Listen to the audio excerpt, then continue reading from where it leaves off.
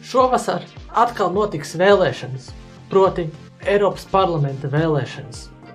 Un eh, šīs vēlēšanas tradicionāli ir vismazāku vēlētāju atsaucību gūšās vēlēšanas.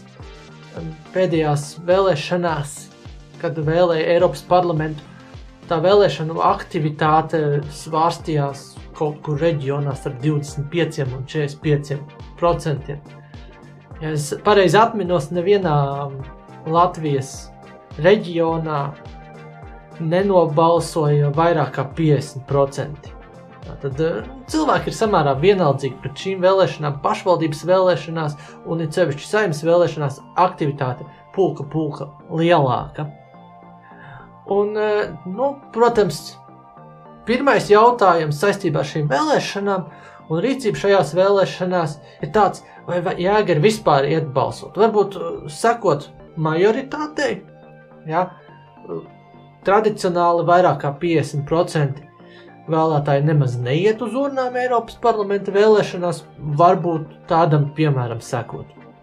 Un tādam piemēram sekojot, jūs pēc lietas būtības deleģējat savu balsi.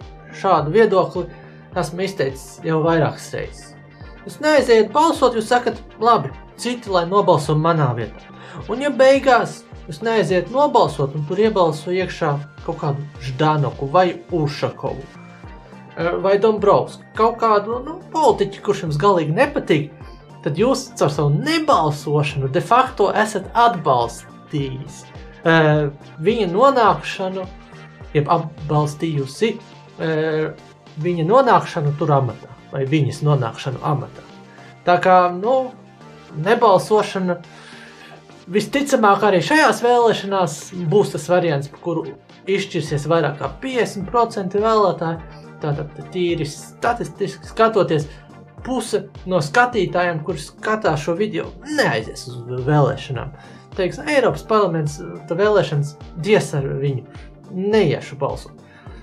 Bet, nu, man nostāja tāda, ka es nepārāk labprāt redzētu tur vienotības pārstāvis, ja vispār varas partiju pārstāvis nepārāk labi redzētu. Un tāpēc labāk ir pat aiziet un nobalsot par kādu partiju, kuru e, visdrīzāk netiek iekšā. Kaut arī beigās tas rezultāts ir samērā līdzīgs.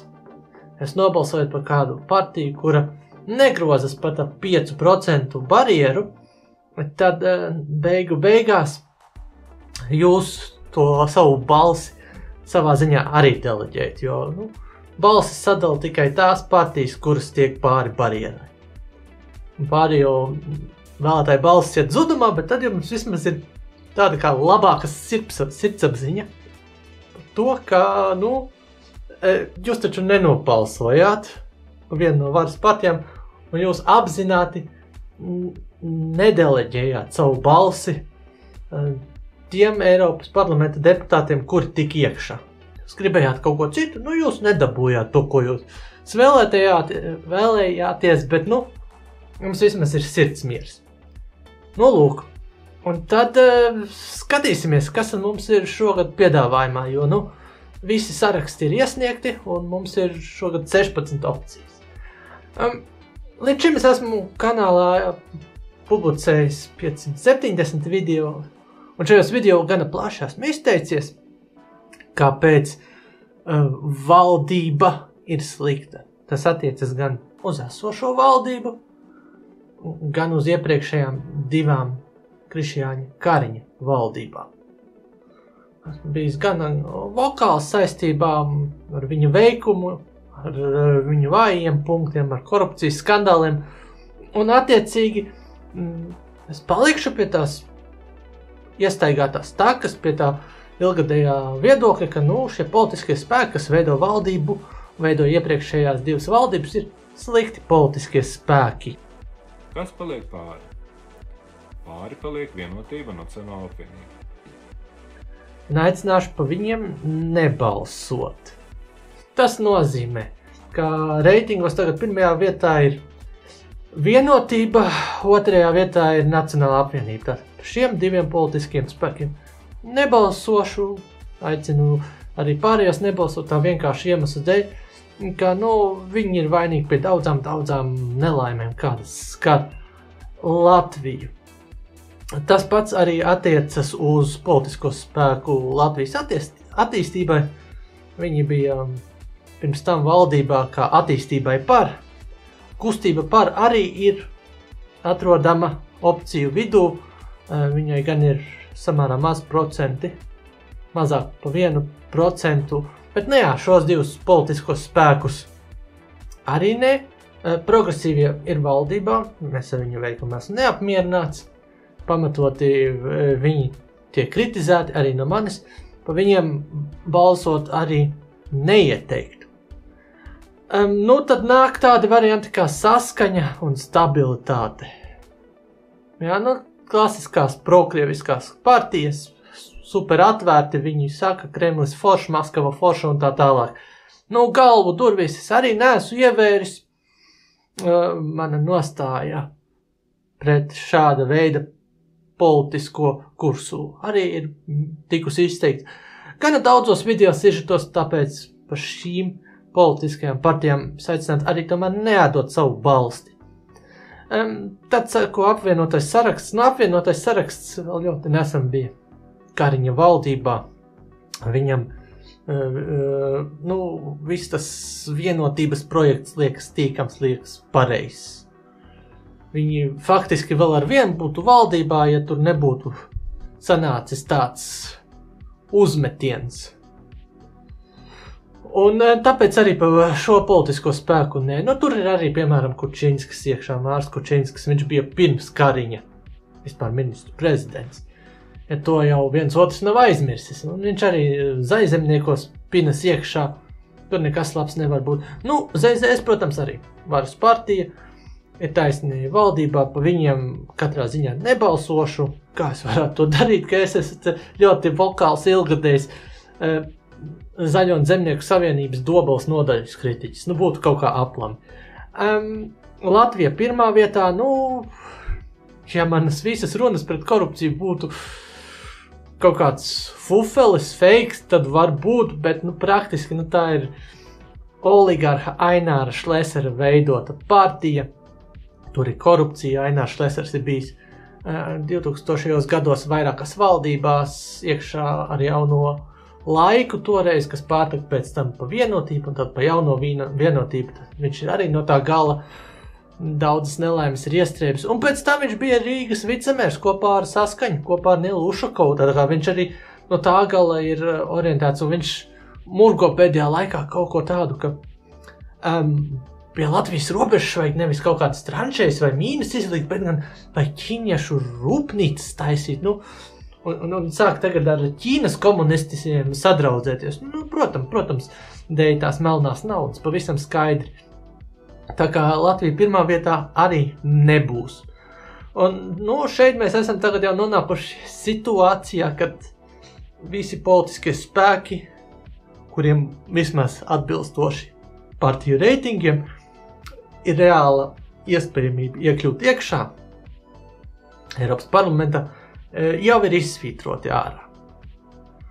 Tā kā, nu, vienalga no kuru no atpalikušajiem, pārpalikušajiem spēkiem jūs izvēlētos balsot, jums ir jārēķina, ka ar lielu varbūtību neviens dēļ jūsu balsojumu uz Eiropas parlamentu nedosies ka jūsu balss tiks atdota kādam politiskiem spēkam, kurš nepārvarēs 5% barjeru, un beigu beigās jūsu balss tiks deleģēta tiem politiskiem spēkiem, kuri pārvarēs 5% barjeru.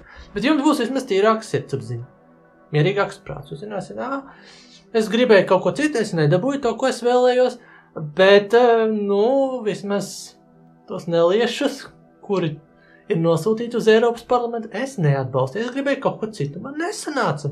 Ok. Varbūt kādreiz citurreiz, kādu citurreiz sanāks. Nu, tad ejam cauri, kas tur vēl ir palicis. Suverēna vara. Tur, man liekas, Stepaņēnko iekšā. Nu, tā ir tāda prokrieviskā partija, vienkārši ma mazāk populāra.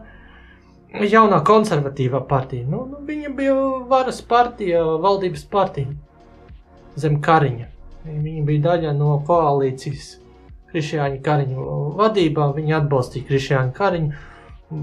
Ar lielu iespējamību vēl ar vienu atbalstīt, ja viņi būtu tikuši iekšā saimā. Tā kā nē, nē tos, tos tomēr arī negribētu.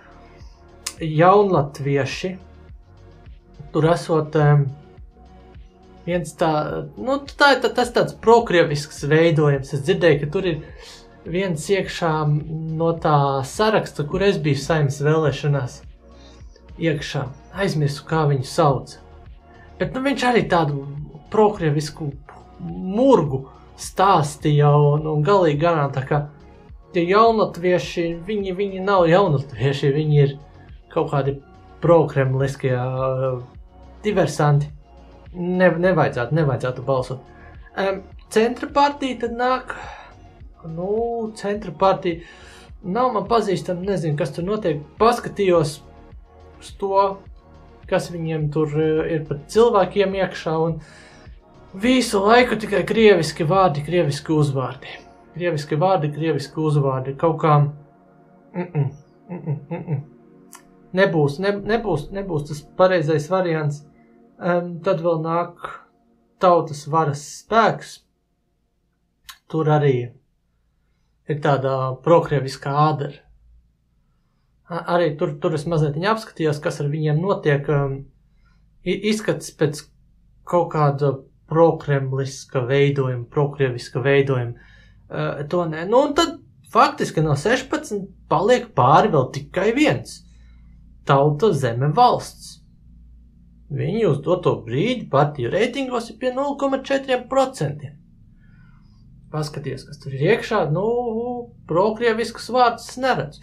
Um, apskatot tos kandidātus, pirmajās vietās, ko viņi ir izvirzījuši, man jāatzīst, tur praktiski visi uh, ir iepriekš kaut kur politikā jau ņēmušies, ir jau iepriekš kaut kur kandidējuši. Um, nu, tas partijas vadītājs ir, man liekas, tas Mošvillo vai kā viņi tur sauc. Viņš bija KPVLV, nu tā ir ar tas kaimiņa veidojumā. Viņ, viņš bija zem kariņa vispār arī valdībā. Viņš savā ziņā valdības, uh, nu, jā, daļa, daļa savā ziņā viņš ir no valdības bijis. Jā. Um, tad tur ir um, dažādi cilvēki no Nacionālās apvienības iekšā. Tādi, kur varbūt Nacionālā apvienībā nav spicē izsitušies, kuri gribētu kaut ko vairāk, viņi tur ir uh, pārgājuši gan daudz. Uh, ir kaut kādi varianti no apvienotā saraksta, ir kaut kādi varianti no Latvijas reģiona apvienības. Tā kā, nu, tur ir sanācis kopā tāds, eh, nu, tendenciāls drīzāk latviskāks cilvēku kopums. Viņiem nu, nu, nu, nav tur tādi, tādi spilgti, ļoti talantīgi, ļoti aktīvi cilvēki. Kaut kādi, man liekas, pat antivakseri tur ir iefiltrējušies. Nu, nu, nav tas zelta variants. Visam godīgi saku, nav. Uh, tas ir kaut kāds jauns veidojums, bet nu, nevar to nosaukt īsti par kaut kādu KPVLV, jo tur ir pārāk daudz citu cilvēku. Nevar nosaukt to īsti par Nacionālo apvienību, jo tur ir pārāk daudz citu cilvēku. Tas ir kaut kāds tāds miks, pārāk tāli, tāli no varas partijām. Uh, nu, tie kandidāti, kas uz tā saraksta ir, nu, tie nav. Tas ir jāatzīst. Tas ir jāatzīst. Tur nav nekādas ilūzijas. Tas nav kaut kāds svaigs, jauns politisks spēks ar, ar svaigām, jaunām idejām. Galīgi nē, galīgi nē. Tur ir, man liekas, pirmajā vietā pat ir 14. saimnes deputāts kurš ir no Nacionālās apvienības ievēlēts un nezinu kāda iemesla dēļ, viņš tagad ir tur izstājies un aizgājis uz šito politisko veidu. Nu, lai tā būtu, bet nu, šis uh, ir vēl visdrīzāk no varas partijām distancēts politiskais spēks. Salīdzinājumā ar visiem citiem. Ja mēs izņemam ārā visus prokremliskos, visus prokrieviskos spēkus. Jā. Kur, nu, nedaudz paskatoties, kas tur ir pa cilvēkiem, ko viņi dara, ko viņi saka, un mēs ātri, ātri redzam, kas tur ir pa variantu, ja, tad, nu, kaut kā, kaut kā nepaliek pārāk daudz pāri. Vai nu tur ir tiešā formā, no tiem pārpalikušiem, vai tur ir tiešā formā tās partijas, kuras vai nu vēl ar vienu ir pie varas, vai kuras bija pie varas pēdējās divās valdībās. Jā. Vai arī nu, ir tas politiskais spēks, tauta zeme valsts, kur arī, protams, ir tāda valdības smaķela. Nu, nu ir. Ir tur bijušas sa, saiešanās, tādu pilnīgi ar politiku nesaistītu cilvēku, man liekas, tur vismaz saraksta pirmajām vietām nav. Bet, nu,